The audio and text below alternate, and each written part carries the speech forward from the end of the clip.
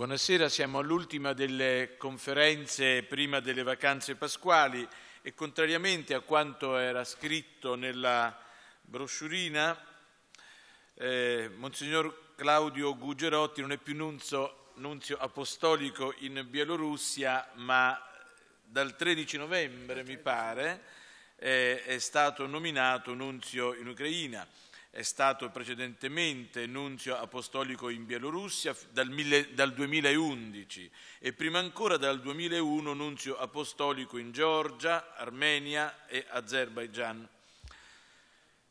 Monsignor Guggerotti, che ringrazio per aver accettato, devo dire, molto amabilmente, ha, benché la telefonata fosse appunto nella sua sede, fin dall'inizio è stato eh, accoglientissimo per la nostra proposta ma io eh, Monsignor Gugerotti lo conobbi alcuni anni fa quando qui ci fu il centenario delle suore armene e c'era allora rettore il padre Pittao e ci fu una commemorazione nell'atrio della Gregoriana, ci fu anche una pianista armena e Monsignor Gugerotti tenne allora una conferenza e credo che il popolo armeno che era rappresentato qui anche dal rettore, poi ascolteremo alla fine della conferenza, proprio come conclusione, una, un canto eh, che eh, i seminaristi del collegio eseguiranno.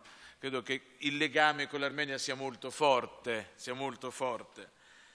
perché Monsignor Gugerotti, qui dico alcune cose che per presentarlo, comincio da alcune, alcuni meriti accademici, ha conseguito la laurea in lingue e letterature orientali presso l'Università Ca' Foscari di Venezia, la licenza di liturgia al Pontificio Ateneo Sant'Anselmo, abbiamo qui il preside, il rettore del, del, del, Pontificio Ateneo Sant'Anselmo, il dottorato in scienze ecclesiastiche orientali presso il Pontificio Istituto Orientale e ha svolto anche attività didattica presso l'Università di Venezia, Padova, Roma, qui al Pontificio Università Gregoriana, nel Pontificio Istituto Biblico, eh, Orientale, scusi.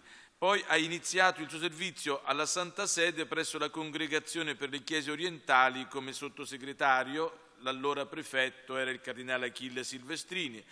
È stato consultore dell'ufficio per le celebrazioni liturgiche pontificie. Salutiamo per, perciò Sua Eccellenza Monsignor Marini, che, era, eh, che è stato anche lui eh, prefetto della, della, chiama, della, delle cerimonie liturgiche prima dell'attuale Monsignor Marini, c'è un caso di omonimia, un Marini succede all'altro, e, e poi è autore di parecchi testi, io qui ne ho solamente portato uno, Caucaso e dintorni, viaggi in una cristianità di frontiera. A questo proposito all'ingresso abbiamo messo un piccolo banchetto per chi volesse eh, interessarsi alla letteratura sulle chiese d'Oriente, e chi volesse approfondire questo capitolo, ahimè doloroso in questi momenti. Noi vediamo, ne parlavamo prima con il direttore, la sparizione forse nel, nel, nell'Oriente, nei luoghi in cui il cristianesimo eh, si è impiantato, la sparizione delle grandi comunità che hanno dato vita a, alle chiese cristiane e l'Occidente credo qui dovrebbe fare un grosso mea culpa perché non ne è, non ne è eh, innocente di quanto sta avvenendo, assiste diciamo, silenzioso, forse deglutendo i propri sensi di colpa. Per questa sera vorremmo allora ascoltare Sua Eccellenza Monsignor Gugerotti, il tema che gli abbiamo ecco, dire, assegnato è all'interno di una eh, serie di conferenze, di un ciclo di conferenze che intenderebbe riflettere sull'unità fra i cristiani, una unità in cammino, quindi che ha già tante pagine di fatto al suo attivo e che spesso invece continua ancora a sottolineare gli aspetti che ci differenziano anche culturalmente, che poi potrebbero essere forse l'occasione per una rilettura più profonda di quello che invece ciascuno può apportare alla vita dell'altro. C'è una vita però che le chiese eh, già hanno come, come realtà comune. Ecco, e però questo ha comportato anche prezzi altissimi. Per cui su questo però lasciamo la parola a Monsignor Gugerotti che ancora ringrazio per la sua presenza. Grazie Padre per questo invito, grazie a tutti voi. mi sento un po' a disagio a parlare di un tema eh, di cui mi trovo a studiare l'epilogo in altre terre, visto che ormai manco dal Medio Oriente, dai tempi della congregazione orientale, a meno che non si consideri Medio Oriente il Caucaso, ma lì è un problema perché i nostri amici armeni qui eh, hanno una forte diaspora naturalmente nel Medio Oriente e una grossa eh, comunità nella Repubblica armena. Eh, quindi con due identità geografiche apparentemente diverse, visto che la geografia è sostanzialmente una linea tracciata su un foglio di carta, per cui è difficile dire che cosa appartenga ad un ambito e che cosa ad un altro. Però naturalmente i legami con eh, il mondo del Medio Oriente e in generale con i cristiani d'Oriente rimane anche dove sono adesso in Ucraina, c'è una grossa chiesa orientale, anzi la maggioranza schiacciante dei cattolici appartiene alla Chiesa greco-cattolica, dove peraltro i problemi sono differenziati eh, soprattutto per le radici culturali, non tanto per gli effetti, devo dire. E, mi è stata chiesta una piccola riflessione eh, sul tema eh, Medio Oriente e sangue cristiano. Vorrei cominciare da un episodio che mi, mi, ha coinvolto personalmente, proprio al tempo in cui il cardinale Silvestrini era prefetto dell'Orientale. Io fui mandato in Iraq subito dopo il primo bombardamento americano, quello contro il quale si scagliò Giovanni Paolo II con molta intensità.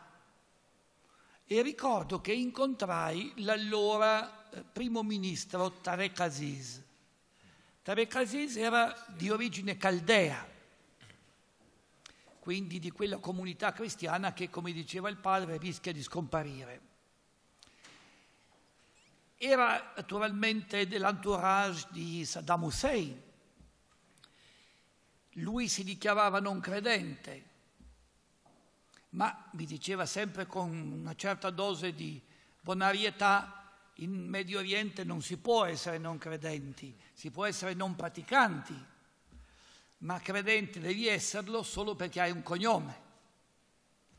E a seconda del cognome che hai ti dicono a quale chiesa appartieni o a quale religione. E lui mi disse, quando ero ragazzo, membro del partito Baas, che quel partito socialista laico eh, da cui poi uscì Saddam, anche se eh, con una evoluzione o una involuzione che la storia ha messo in evidenza, eh, mi disse, da giovane, avevo vent'anni, venne a trovarci il patriarca Sheikho. Sheikho era eh, allora il patriarca caldeo. La sua famiglia era una famiglia in vista e il patriarca si recò appunto a visitarla. E il giovane Tarek eh, disse, io non incontro il patriarca, io non sono dei suoi.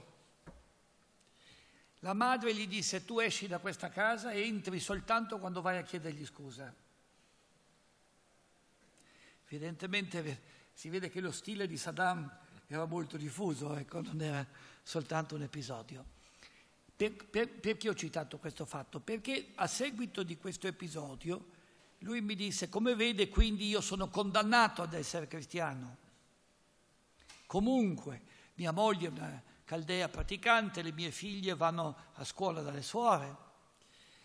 Eh, e voi eh, occidentali ci ammazzerete tutti, noi che siamo ora al governo.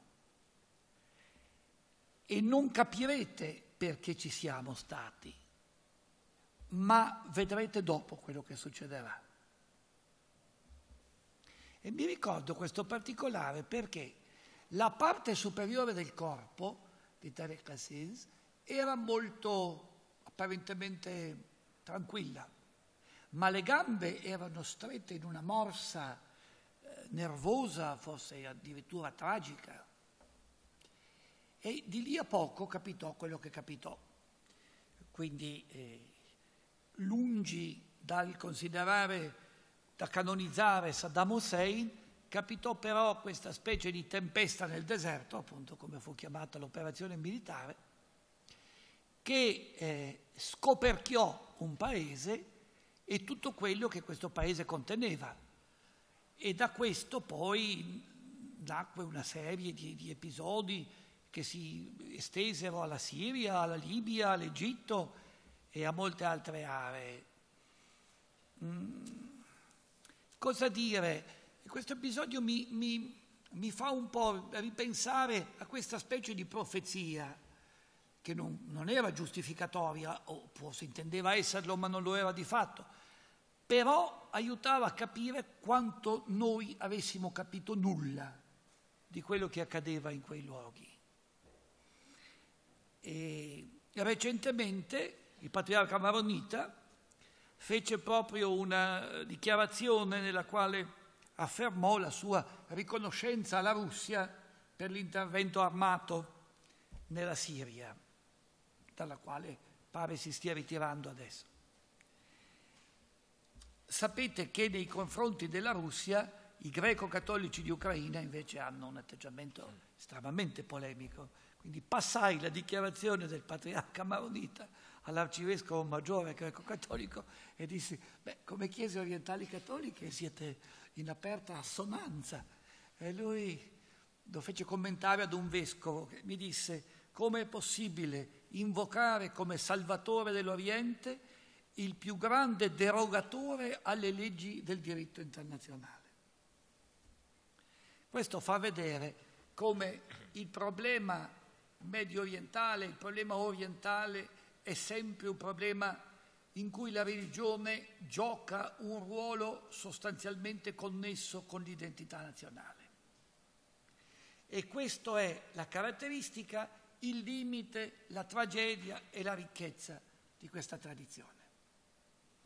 Cercherò di delineare qualche piccolo tratto perché naturalmente sono molto più interessanti le domande poi. È chiaro che i cristiani sono nel Medio Oriente parte integrante delle popolazioni originarie.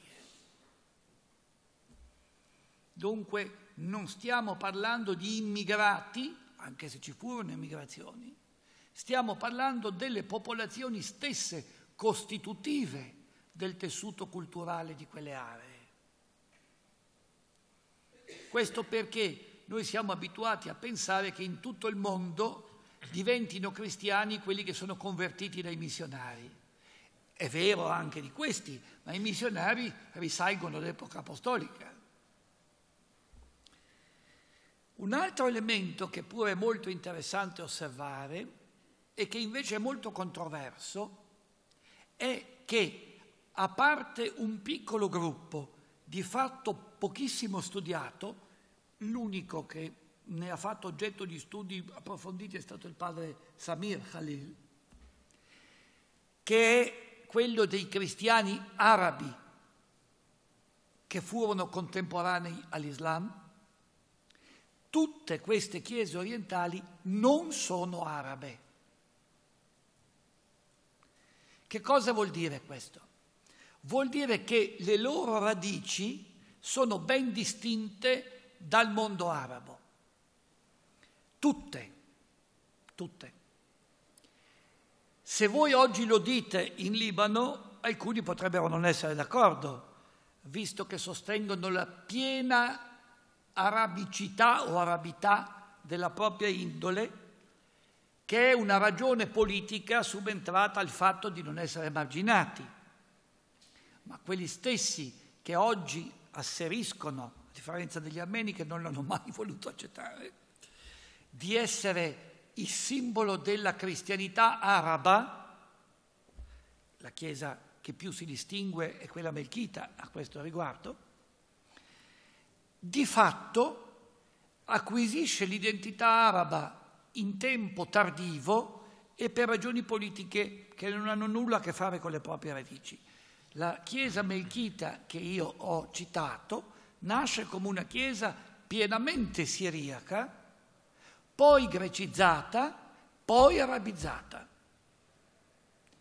Ma quasi tutte queste chiese sono di radice siriaca quindi di una matrice vicina a quella ebraica, sono la continuità in qualche modo dei cristiani di Antiochia e ad, ad Antiochia si rifanno con il titolo della propria appartenenza, Antiochia dei Melchiti, Antiochia dei Maroniti, Antiochia dei Siri, eccetera.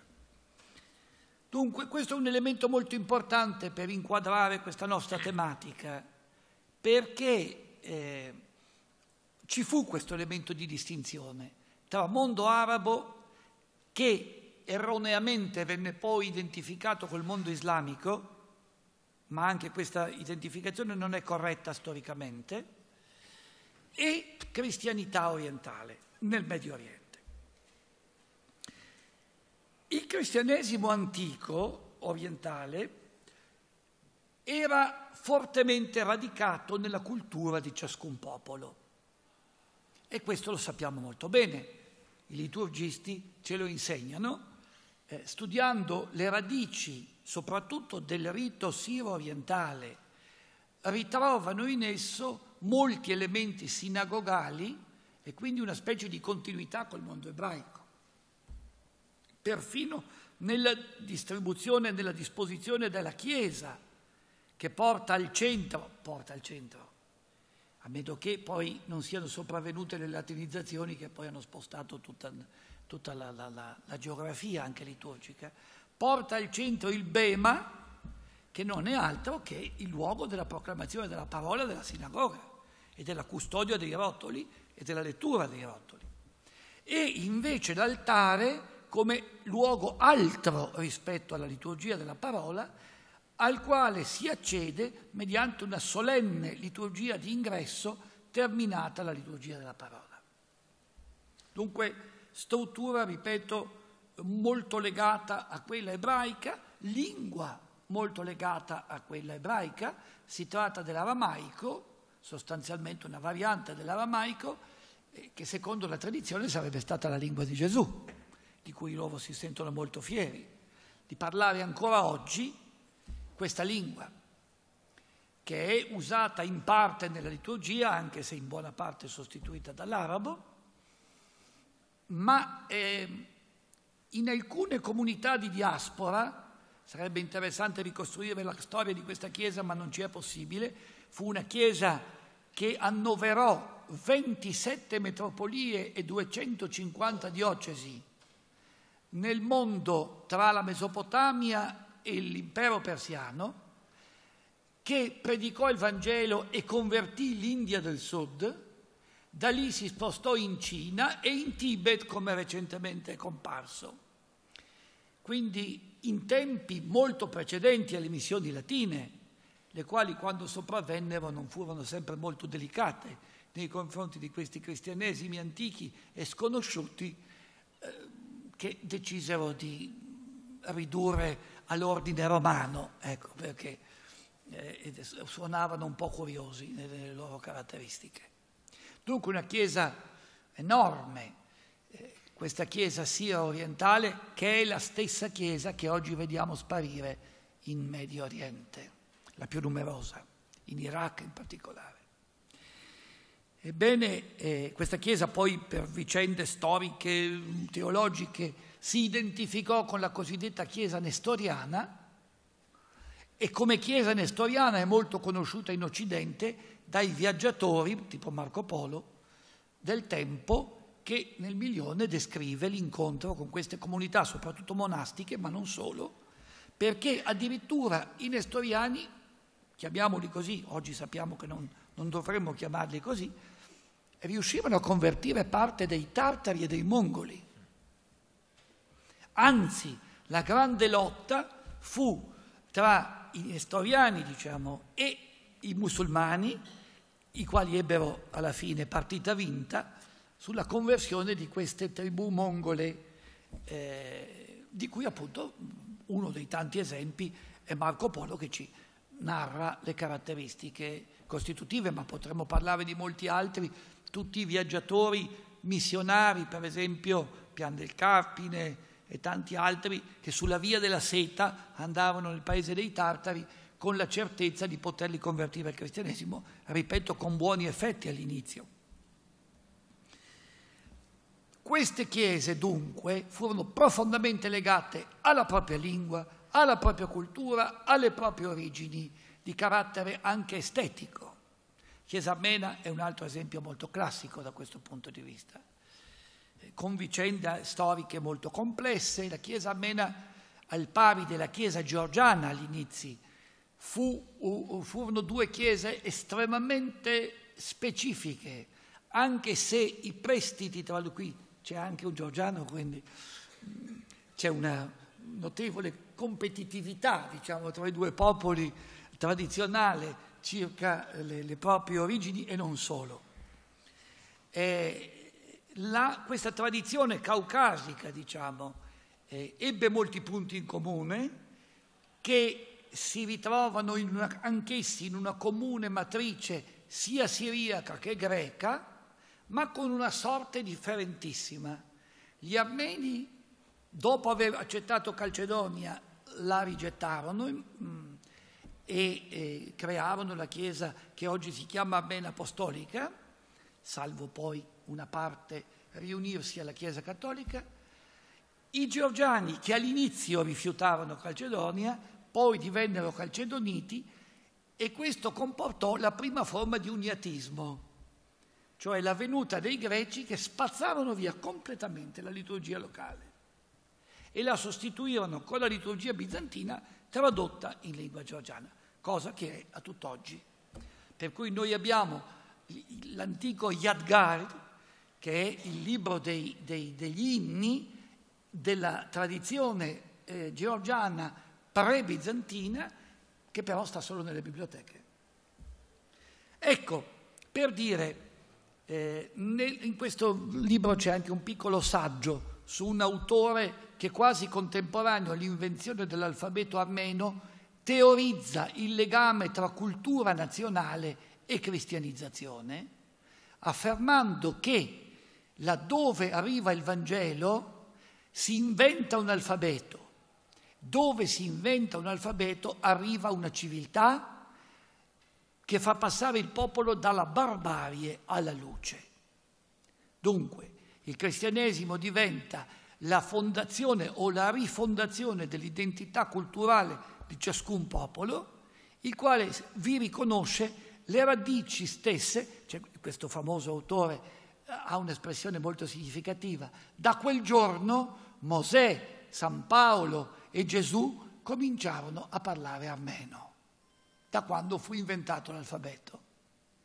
E quindi il popolo cominciò a rendere con il proprio alfabeto quello che prima era cultura orale, segnata con alfabeti di altri popoli. Questo fenomeno di identificazione tra cultura nazionale e cristianesimo è un elemento molto importante da tenere presente quando si valutano queste chiese e il loro divenire perché è ad un tempo la loro forza e la loro tragedia. Perché dico questo? Dico questo perché esiste eh, eh, un'epoca nella quale la varietà delle forme espressive, liturgiche, culturali, teologiche, è considerata una ricchezza o comunque una possibilità di convivenza. Pian piano questo clima sparisce e subentra una uh, non permeabilità di queste culture l'una all'altra, con la, la conclusione di rinchiudere ogni chiesa rigorosamente entro l'ambito nazionale. Se noi oggi abbiamo la festa dell'esaltazione della croce, lo dobbiamo a, un influsso orientale sulla liturgia romana così come molte delle feste mariane. Ecco. Abbiamo papi che erano di origine orientale ed è interessante osservare che era l'epoca delle invasioni barbariche. Quelle che noi chiamiamo le invasioni barbariche, che per molti aspetti connotarono una cultura molto simile alla nostra di oggi, portarono alla fine come conseguenza al fatto che perfino il Papa era barbaro, tra virgolette. Ecco, cioè ci fu un processo di violenza ma anche di assimilazione che però era caratteristico di quelle che erano le peculiarità della mentalità dell'impero romano, che già era molto avanzata nella integrazione dei non romani di etnia rispetto alla, alla compagine del proprio impero. Questo problema del legame con la nazionalità e con la esclusiva nazionalità diventa poi il problema di tutte le chiese d'Oriente. Lo vediamo nel momento in cui i calendari liturgici non comprendono più santi stranieri. Cioè c'è un'epoca nella quale per, per i vari popoli rimangono i santi stranieri precedenti, ma le canonizzazioni, se si può chiamare così, sono solo per i membri del proprio popolo. Questo è un simbolo, è un emblema del fatto che le chiese si sentono mandate a servire essenzialmente la propria gente, non chiuse teoricamente all'universalità della Chiesa, ma chiuse concretamente dentro l'obbligo delle proprie necessità, anche perché quasi tutte queste chiese cominciavano ad avere una vita molto tribolata. In questo contesto nasce una reinterpretazione del martirio, visto che questo è un po' il nostro tema, che ha origini antichissime, lo sappiamo, non è un fenomeno orientale il martirio. Il martirio è un fenomeno universale del cristianesimo. Ma in Oriente cede il passo al mondo monastico che in qualche modo rav- si ravvede, o meglio si riconosce, come continuità del martirio quando il martirio cruento non c'è più, come una delle componenti. Non bisogna esaurire il modello monastico solo a questo, però indubbiamente c'è una volontà, quando l'imperatore non uccide più, di vivere volontariamente la segregazione, la sofferenza, la penitenza. Questo nel mondo siriaco si vede chiarissimamente, dove la penitenza eh, diventa eh, il martirio cercato, il martirio voluto.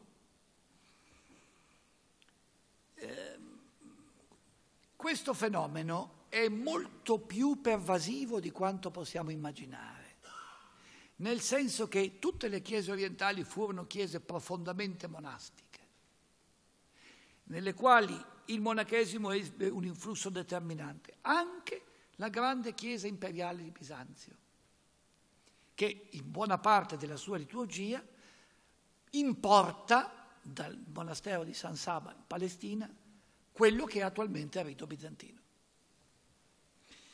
che è un rito invece imperiale, mentre tutte le altre chiese non hanno nessuna imperializzazione del loro culto. Rimane questa forte matrice martiriale che noi troviamo, ad esempio, in un'espressione tecnica. Quasi tutte queste chiese chiamano l'Eucaristia sacrificio, oblazione. Eh, offerta sacrificale. Corbano, corbana, patarak, in armeno, non so come si dica in georgiano, antico, ecco, è la stessa cosa.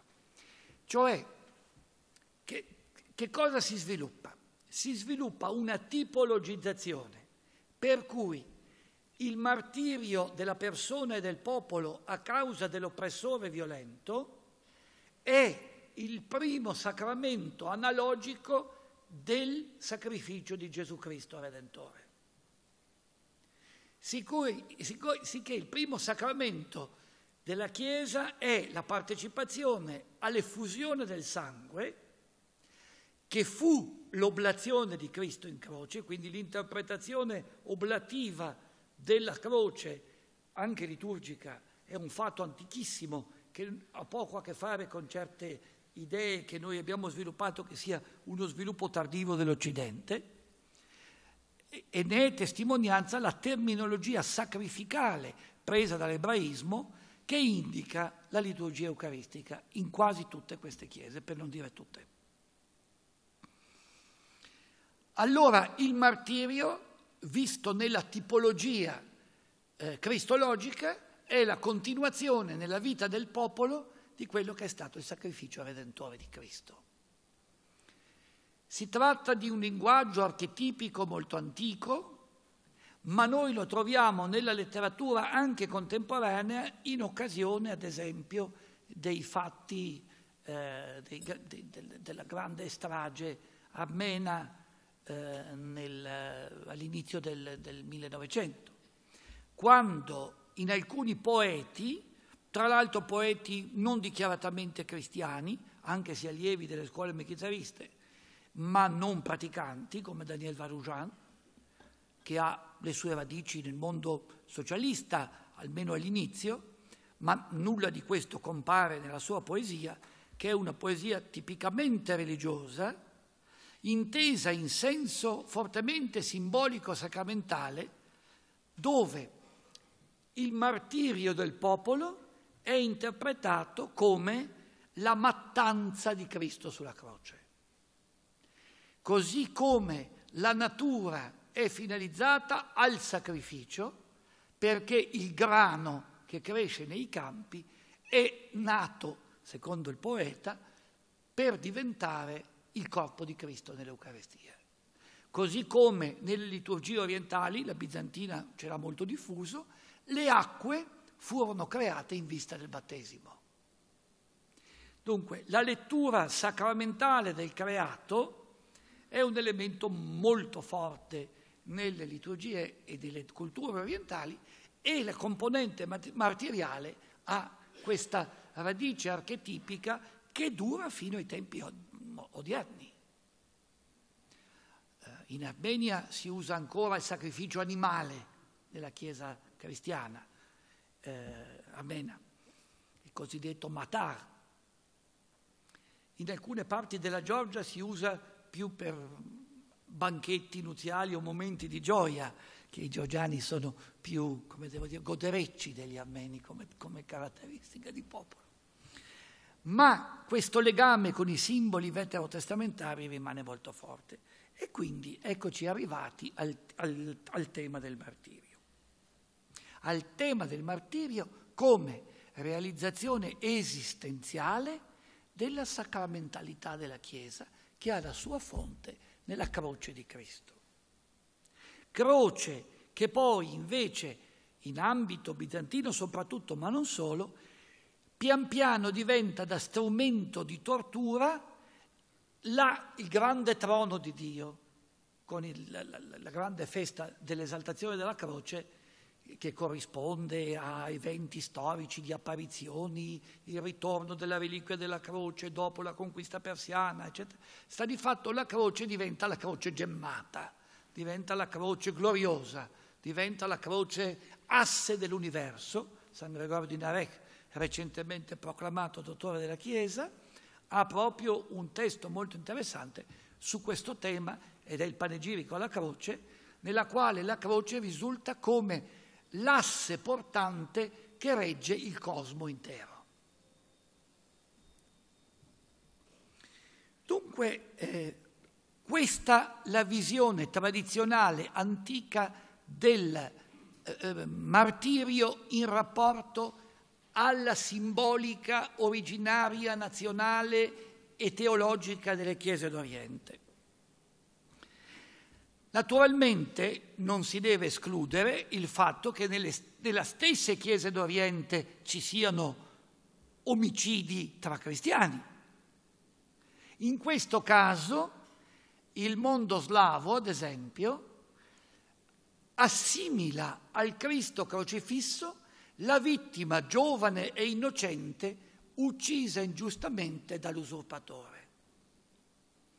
Allora quello che era il martirio inflitto al popolo da un altro popolo non cristiano, nella visione cristiana diventa il martirio inflitto dall'ingiusto cristiano in quanto negatore di Cristo, che uccidendo la vittima innocente la santifica, diciamo, perché la assimila simbolicamente al Cristo crocifisso.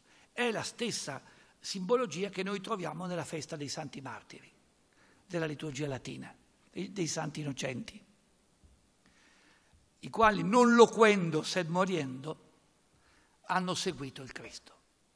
Questa è una tematica interessante da tenere presente, perché tenete presente che questa tipologia di santità non è strettamente legata alla morte consapevole in odium fidei. Anzi, molto spesso, come nel caso dei santi Boris e Gleb della tradizione russa, questi non vengono uccisi per la loro fede, sono semplicemente uccisi del, dal fratello usurpatore che toglie loro il diritto al regno. Però diventando vittima sacrificale innocente, prendono gli elementi che furono caratteristici del Cristo innocente sacrificato per i peccati degli uomini. E veniamo adesso a tempi più recenti.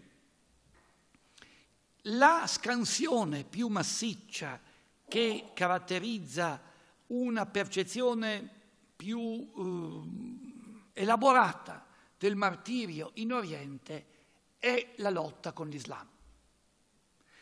La comparsa dell'Islam nelle fonti antiche, cristiane, orientali, è un fenomeno molto controverso. Non è necessariamente demonizzato e non è necessariamente glorificato. All'interno di alcuni testi storici, penso alla storia di Sebeos nella cultura armena, c'è una descrizione della vita di Maometto molto pacata e l'autore è contemporaneo a Maometto. È un vescovo, probabilmente un vescovo, non sappiamo, pare che sia un vescovo armeno del VII secolo, il quale dice nacque un uomo, un mercante di nome Maometto Mehmet, eh, il quale eh, radunò intorno a sé il popolo arabo, eccetera, eccetera. Salvo poi interpretare nello stesso libro il fenomeno islamico dei conquistatori come una delle bestie dell'Apocalisse. Quindi la nascita della religione non è in sé demonizzata. Il fenomeno dell'espansionismo che creò il martirio cristiano, questo sì.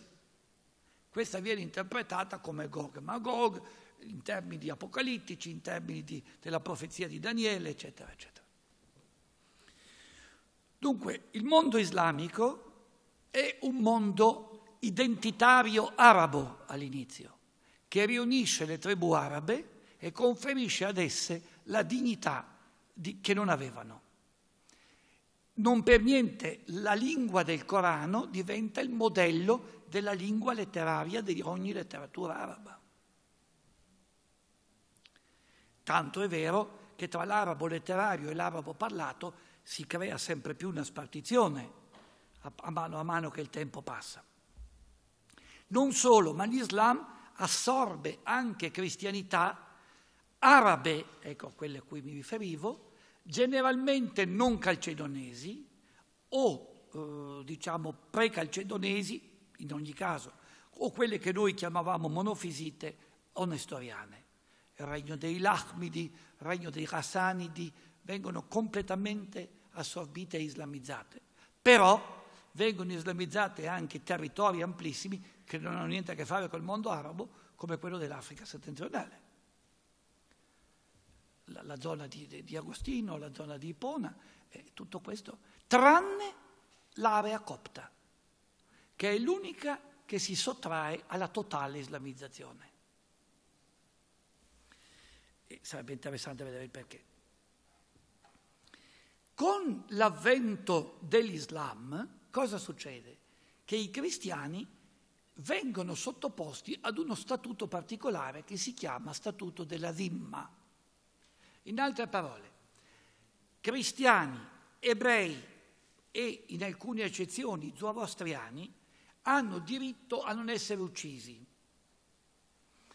e possono essere accolti nella civitas musulmana con uno statuto legale di inferiorità legale rispetto all'Islam, legata essenzialmente all'esclusione da certe cariche dello Stato e al pagamento di un forte tributo chiamato Gizia, che è esattamente quello che vediamo oggi proposto nei cosiddetti territori dell'ISIS.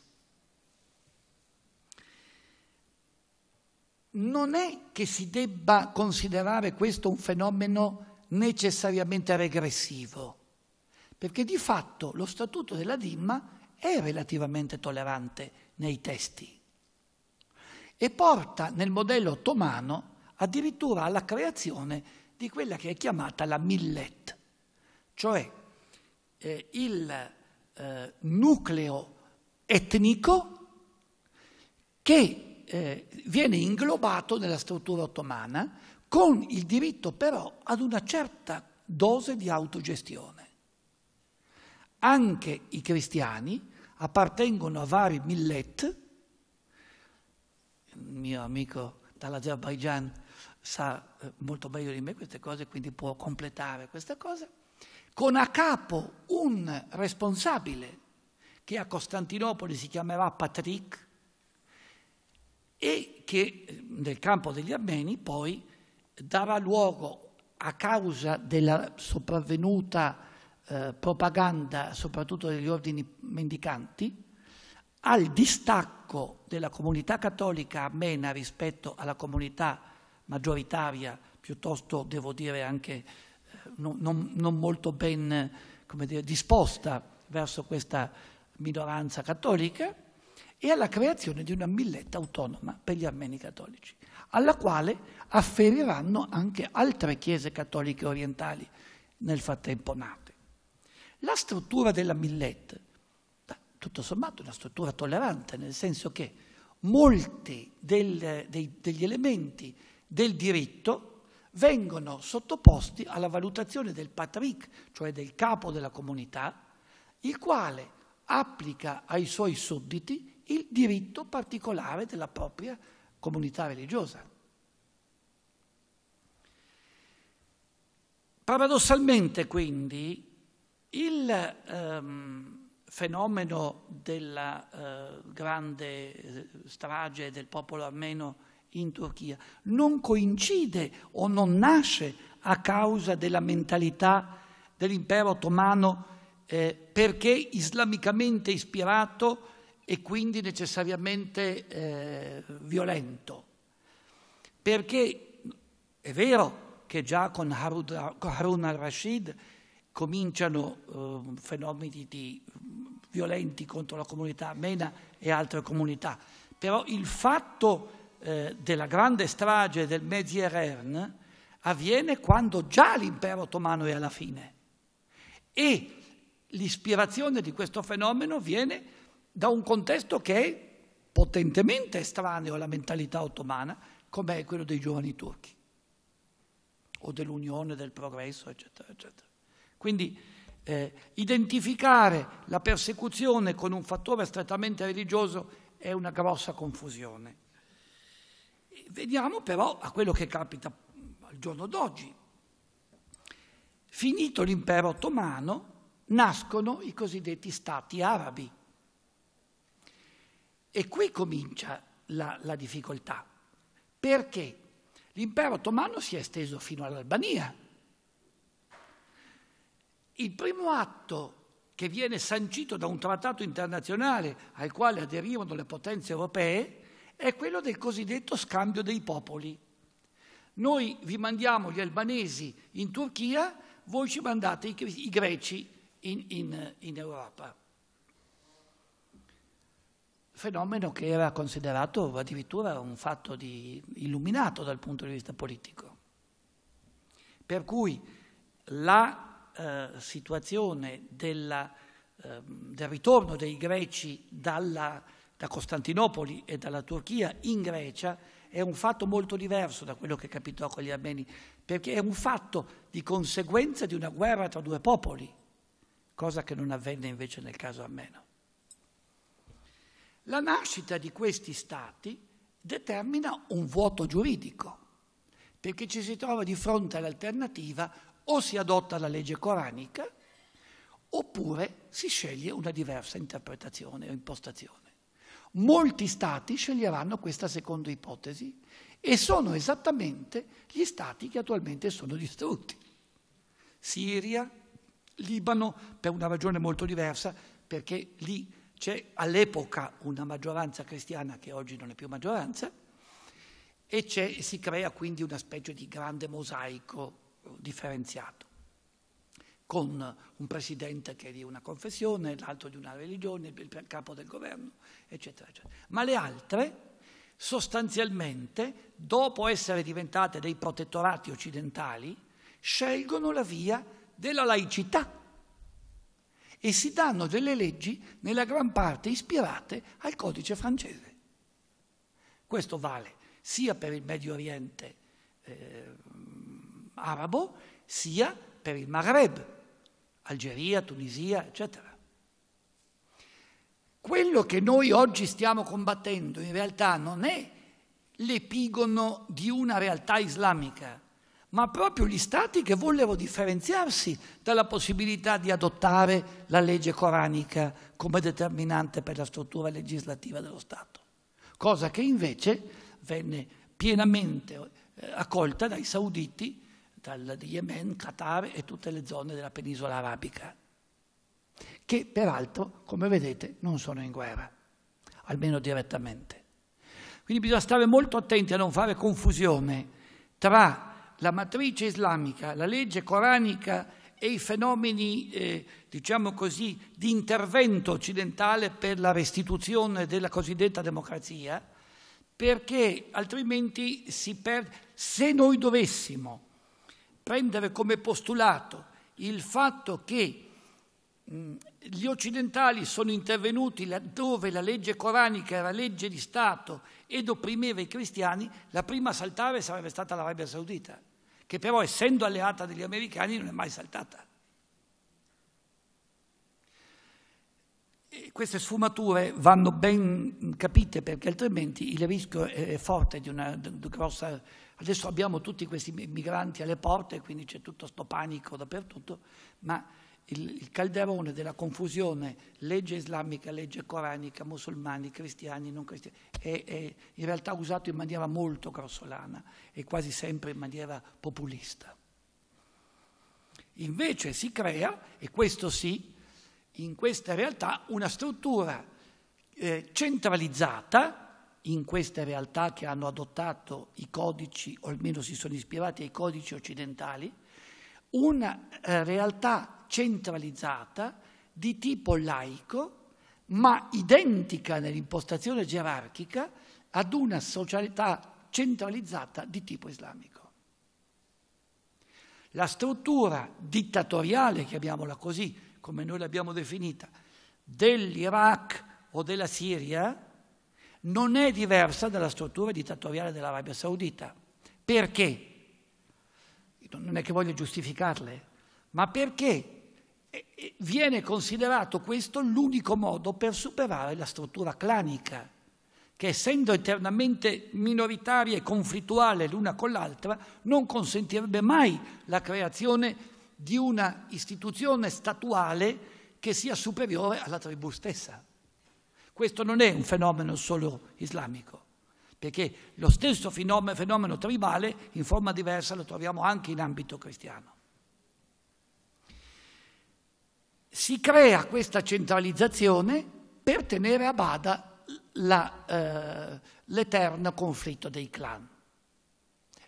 Questo naturalmente totalmente sconosciuto a chi è interessato unicamente a cercare nuovi mercati e quindi a pro, pro, prepararsi, mh, mm, predisporre un'area geopolitica di, di, di dipendenza per poter assorbire i mercati, soprattutto quello del petrolio, la eh, fantasia e anche l'ignoranza, dire, o meglio la mancanza di cultura, sono eh, la causa per la quale non si sa, non si pensa prima cosa succederà a una società clanica quando si toglierà il capo, il capo dello Stato. Ed è esattamente quello di cui siamo testimoni in questi tempi nelle società dopo l'intervento occidentale, violento. Scoppia assolutamente, innanzitutto, la prima grossa divisione, quella tra sunniti e sciiti dentro lo stesso mondo islamico. Scoppiano fenomeni di nazionalità diversa, come quello tra arabi, turchi e curdi. Scoppiano fenomeni di contrapposizione tra clan anche della stessa appartenenza religiosa perché a nessuno era venuto in mente di dire ma al posto di questo chi ci mettiamo?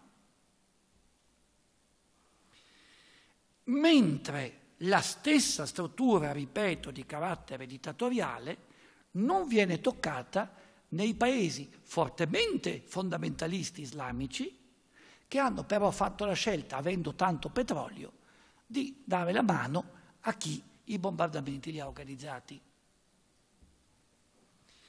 Dunque, dobbiamo dire chiaramente un, un fatto. Adesso noi siamo invasi, invasi, insomma, dove sono io in Ucraina i profughi sono 3 milioni e mezzo e sono i profughi interni.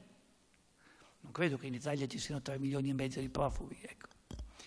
Quindi il fenomeno dei profughi non è, non è un fenomeno che, che, nasce semplicemente perché altri da fuori arrivano. Ma eh, l'elemento fondamentale che, che va sottolineato è proprio questo, cioè siamo invasi dai profughi e quindi la percezione è quella di dire ci dobbiamo difendere. E in parte è vero.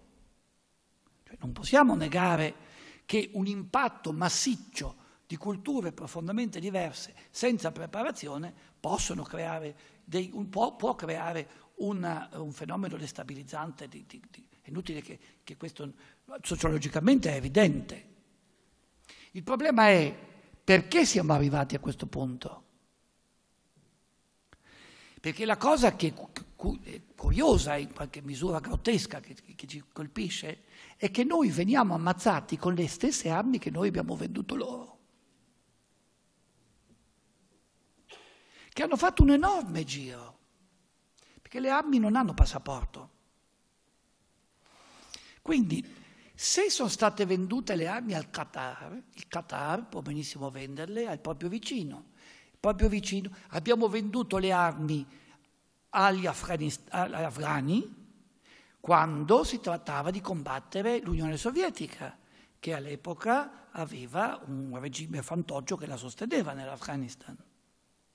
Ma quelle armi, finite nelle mani dei talebani, che erano alleati nostri, sono poi finite con l'essere usate contro quelli che le avevano vendute. E questo meccanismo, se voi osservate, è costante, costante. Cioè, eh, lo, la miopia occidentale ha creato la fame di materie prime al punto da imporre due cose. La cosiddetta democrazia con le armi, che è un po' un ossimoro, e la seconda cosa, una obbedienza occidentale legata al, ad una precisa identità nazionale. Quando parlo di identità nazionale non parlo di popolo, parlo di territorio. Siamo noi che abbiamo preso una carta geografica, un righello e abbiamo deciso che qui finisce l'Iraq e comincia il Kuwait. Ma la geografia umana non corrisponde affatto a questo. Non corrisponde affatto in quasi tutto il mondo, perché è un elemento che nasce in Occidente soprattutto a partire dalla Rivoluzione francese, l'identità tra Stato e nazione. Ma il fatto di volerlo imporre al di fuori dei confini della cultura europea determina una confusione totale perché la maggior parte di questi clan sono nomadi, si sono sempre spostati. Nessuno degli armeni potrebbe immaginare che l'attuale Turchia è Armenia. È chiaro che ci, ci, ci sono state tribù turche, tribù armene, tribù eh, caldee, sire di vario genere, eh, che convivevano nello stesso spazio e che noi poi abbiamo tagliato dentro un confine chiamato con il nome di uno Stato. Lo stesso vale per il Caucaso. Perché noi ci troviamo in un'eterna lotta di confini nel Caucaso? Perché non c'erano confini. Perché le, le, le, il patriarca georgiano un giorno mi ha detto, mi ricordo quando io ero bambino, lui abitava nelle zone delle montagne, quando venivano i ceceni a rubarci le pecore, e infatti uno dei grandi autori della letteratura georgiana, Vaja Pshavela, descrive continuamente la tragedia di questi popoli che si incontrano e si scontrano, eh, essendo distrutti dalle stesse leggi che si sono dati. Quella dell'ospitalità nei confronti della legge della vendetta, eccetera. Quindi in una mobilità, le, le, le tribù slave sono la stessa cosa. Siamo ade- tutti disperati nel tentativo di creare adesso una cultura slava per ogni nazione, quando in realtà si tratta di un, di un calderone molto più complicato e molto più articolato che non aveva interesse a, a chiamarsi col nome del territorio su cui viveva. Ma siccome adesso gli ucraini sono contro i russi, i russi contro gli ucraini, gli abkhasi contro... Allora ognuno si crea una propria cultura, o meglio, eh, come dire, gigantizza le differenze, le, le peculiarità culturali, che non sono in realtà peculiarità, perché se noi guardiamo fenomeni eh, trasversali della società come quelli del Caucaso, noi li troviamo, struttura della famiglia, concezione del rapporto madre-figlio, troviamo nella stessa misura in Georgia, in Armenia e in Azerbaijan, paesi e anche in Cecenia, paesi uniti da religioni diverse, ma mantenuti da una specie di zoccolo comune di una cultura che non si definiva in base alla religione e neanche in base al confine, al confine statale. Concludo. Tutto questo sfocia in quello che oggi vediamo essere la, la grande catastrofe di questa eh, distruzione eh, nella Siria, nell'Iraq, nella Libia, in parte in Egitto, perché poi in Egitto succede poi un altro fenomeno come in Palestina, vale a dire noi imponiamo la democrazia, con un metodo democratico facciamo le elezioni, poi ci accorgiamo che sono stati eletti i fondamentalisti e li buttiamo giù. Questo succede sia nella striscia di Gaza come in Egitto con i fratelli musulmani de- leggeteli liberamente, però quelli che diciamo noi, perché se no, addio democrazia. Il fatto ISIS è una mostruosità, che vuol dire tutto e niente. Qui i nostri fratelli, il padre rettore, che viene proprio da una delle zone più martoriate della Siria, la zona di Derzor, dove tra l'altro finirono eh, centinaia di migliaia di armeni eh, portati dalla deportazione fino a morire in questa specie di cave del deserto, eh, bruciati vivi o, altre, o di stenti. Interessante, con i curdi che facevano da mediatori. Cioè sì, erano, avevano in appalto la, la strage salvo tenersi le ricchezze dei morti. Adesso i curdi sono invece i difensori dell'autonomia eh, contro l'ISIS sono scherzi della storia che per chi la conosce induce sempre ad una certa cautela nell'identificare i giochi di parte. L'ISIS è un fenomeno hollywoodiano. L'ISIS non è, non è una realtà endemica di quei territori. L'ISIS è la degenerazione di, questo, di, questo, di questa confusione incredibile che noi abbiamo creato in quelle terre. Non è guardiamolo nella simbologia espressiva. Non ce li fanno vedere questi filmati nella gran parte perché sono efferati, ma il montaggio, l'impostazione, la musica sono occidentali. Non è un fenomeno naturalmente orientale l'ISIS. L'ISIS è un, un mostro genetico che si esprime con una grande raffinatezza mostruosa, ma una grande raffinatezza nel modo di comunicare, sa usare alla perfezione i metodi di comunicazione di massa. Non è uno Stato, ma vuole diventarlo. Il califato non è essenzialmente uno Stato, il califato è la legittima discendenza che si inserisce nella continuità ortodossa con l'Islam delle origini che questo ha sempre una natura anche territoriale. Perché? Perché la territorialità, la terra, costituisce un elemento inscindibile nei popoli d'Oriente, ebraico compreso. Basta vedere tutto il significato di questa Eretz Israel. in tutte, in tutte le, le, le, le culture orientali, tanto più nella cultura islamica dove l'inizio solenne della religione si ha in una vera e propria città teocratica, quando Muhammad passa a Medina e lì, Madinat Annabi, la Medina vuol dire città, la città del profeta, e lì da Dio riceve, secondo la, la tradizione islamica, le leggi per governare quella città. Un po' come nell'Antico Testamento capita col Levitico, col Deuteronomio, eccetera, eccetera. Ecco.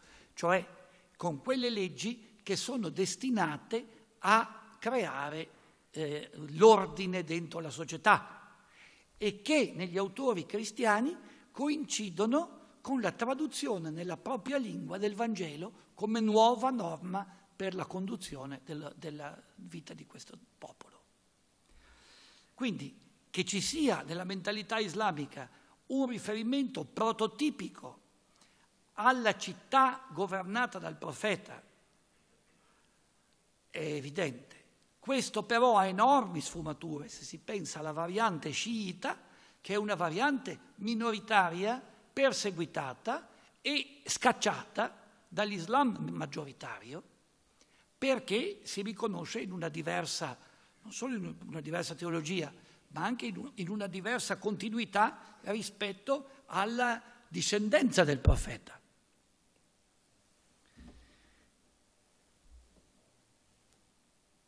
Il, la tragedia di tutto questo è che in questo mondo, che come vedete è complicatissimo, estremamente mh, antico, arcaico, per questo anche molto conservativo, per questo noi abbiamo ancora fenomeni religiosi così vicine alle origini del cristianesimo, ma non solo.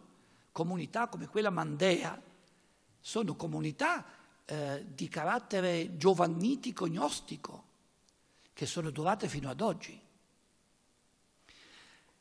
In questo grande calderone dove, sia pure a prezzo di sangue, gli equilibri vengono mantenuti sulla base di una cultura omogenea, anche se contrapposta, ripeto, in certi momenti, si, si sovrappone questo modello occidentale che improvvisamente arriva e determina la necessità di insegnare o di imporre con la violenza quello che è lo schema che deve essere lo schema della liberazione democratica che tutti si sia capito trattarsi di un grosso commercio è un dato acquisito, perché il dittatore che ti è amico va benissimo, il dittatore che ti è nemico va distrutto. Questo non coincide esattamente con i dettami della democrazia. Lo stesso dicasi per quel che riguarda la lotta che adesso c'è tra Occidente e Russia allora bisogna farsi i dispetti, cioè bisogna riuscire a vedere come strategicamente io ti posso condizionare in modo da eliminare la possibilità che tu possa mettere le mani in casa mia. E io, a mia volta, metterò le mie basi militari in maniera tale da farti capire che sono sotto il tuo naso e siccome sei debole ti faccio presente che la prima che fai ti salto in casa. Noi stiamo pagando oggi il dissesto ecologico che abbiamo creato con i nostri cosiddetti interventi civilizzatori, che in realtà sono solo interventi di mercato. Molto spesso non abbiamo neanche ricavato il mercato poi, questo è il problema. Perché l'ISIS dà tanto fastidio? Perché in parte si è preso quello che, pensavamo che fosse nostro diritto dopo quello che avevamo combattuto in quei paesi. Adesso lo vendono loro il petrolio e si autofinanziano. E bisogna cercare uno Stato canaglia che gli venda e che gli acquisti il petrolio. E magari noi poi paghiamo lo Stato canaglia perché non mandi i profughi. Capite quale contorsione di carattere mentale, ma poi purtroppo di carattere umano, di geografia umana, di antropologia, si è venuto a creare a partire da questo nucleo della civiltà che è il Medio Oriente e nella quale i cristiani sono alcuni tra le vittime, perché diciamocelo chiaramente, è difficile poter dire che i cristiani sono le sole vittime di questa violenza. Si ammazzano tra di loro anche i musulmani con una facilità più unica che rara. Certo, noi, come diceva giustamente il padre, e così concludo, rischiamo di perdere in questo sistema ecologico particolarmente protetto quelle che sono le radici che più direttamente ci collegano con le fonti stesse del nostro cristianesimo, cioè con quelle fonti semitiche che in realtà pian piano scompaiono nel restante mondo, essendo assorbite dalla cultura greca, greco-romana, che confluisce poi nella cultura occidentale. La testimonianza di quello che noi invece era fontale, noi lo troviamo in queste antiche, poco studiate, ignorate e per questo anche massacrate liberamente perché non interessano a nessuno, perché quando è stato pensato alla divisione dell'Iraq si è pensato ad una divisione confessionale da parte occidentale e non si è tenuto presente la componente cristiana che non è etnica, perché è plurietnica. Nell'Oriente cristiano l'arabo sciita, l'arabo sunnita, ma non il cristiano arabo. Ripeto, il cristiano è armeno, è siro orientale, è siro occidentale, il cristiano è maronita, sono tutti, quindi è impossibile identificare un'area o un'etnia alla quale poi conferire un territorio. Il risultato non consideriamoli andiamo verso la spartizione confessionale in senso islamico, magari garantiamo qualcosa ai curdi per tenerli buoni, ma eh, i cristiani sono totalmente irrilevanti, tanto più che sono occidentalizzati, nel senso che sono più aperti in Occidente, in genere più benestanti, quindi s'arrangino, vengano, vengono pure nelle nostre terre, vengano a ricongiungersi alle loro famiglie che già vivono in America, vivono in Canada, in Australia, eccetera, eccetera lucidamente e eh, direi mostruosamente, ma questo è il disegno, si potrà dire mh, mm, volgare, si potrà dire mh, mm, bestiale, potrà, ma questo è il disegno che sta alla base di, del trambusto, per non dire della catastrofe, di cui siamo testimoni oggi in quel Medio Oriente, nel quale appunto continua a scorrere il sangue anche dei cristiani.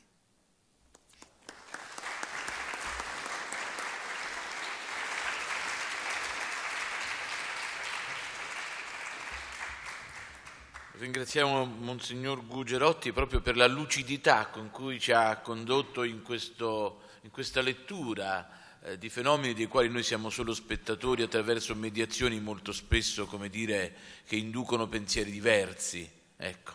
La lucidità e la verità sono il primo eh, confronto con il quale noi dobbiamo eh, vivere l'incontro. Ora, prima delle domande, che saranno necessariamente brevi perché sua Eccellenza ha un impegno molto importante.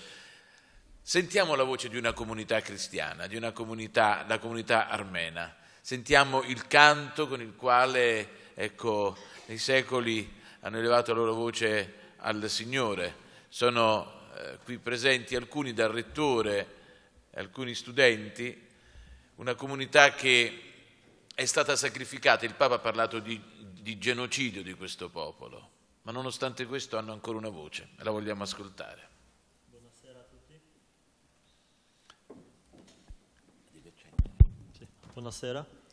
Uh, prima di cantare volevo presentare questo canto che è scritto da un uh, sacerdote armeno santo, si chiama Gomidas. Questo santo è sopravvissuto durante uh, il genocidio armeno negli anni 1915 eh, e allora eh, alcuni, di, alcuni armeni che sono sopravvissuti con lui dicono che aveva cantato questo inno eh, mentre gli armeni stavano, mentre i turchi massacravano gli armeni davanti ai, ai, su, ai suoi occhi. E questo canto si chiama Signore Pietà, si dice Signore pietà, Signore pietà, Signore pietà. Uh, vieni ad aiutarci e stare accanto a noi, o, Trini- o Santo Trinità. Trinità. eh, dona a noi la pace, alla nostra Chiesa. Dona ai nostri defunti la pace, Signore Cristo Salvatore, Signore pietà. Scusate un particolare, questo eh, Gomidas poi si rifugierà a Parigi e perderà la ragione, diventerà pazzo e morirà pazzo eh, dopo la, la fuga dalla Turchia.